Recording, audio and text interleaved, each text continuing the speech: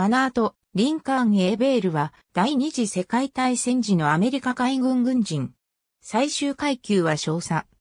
1920年8月海軍に入り、1922年6月に少尉候補生となる。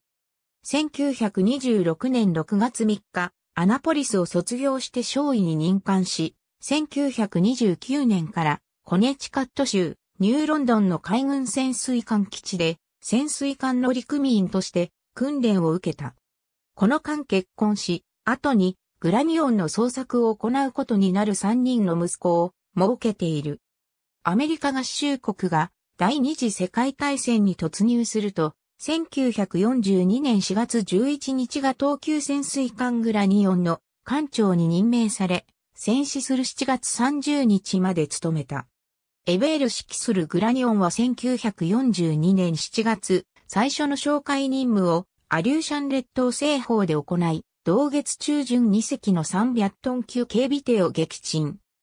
3隻目にも大きな損害を与えるなど着々と戦果を上げたが、下旬にダッチハーバーへの帰還命令を受け機関途上の30日、キスカ島沖で日本機戦六ヤマルを来撃、航行不能に追い込むが止めの一撃を与えるべく、浮上中に反撃を受け撃沈される。このサイエベールは、他の乗員と共に、行方不明となった。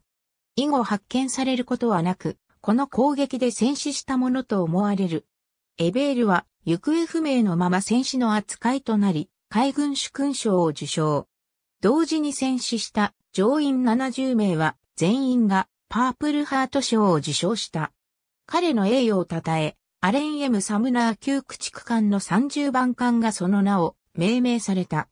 同艦は沖縄戦で王家によって戦没している。息子3人の捜索により2006年にグラニオンの戦没が確認され、これによってエベールの戦死も確定した。ありがとうございます。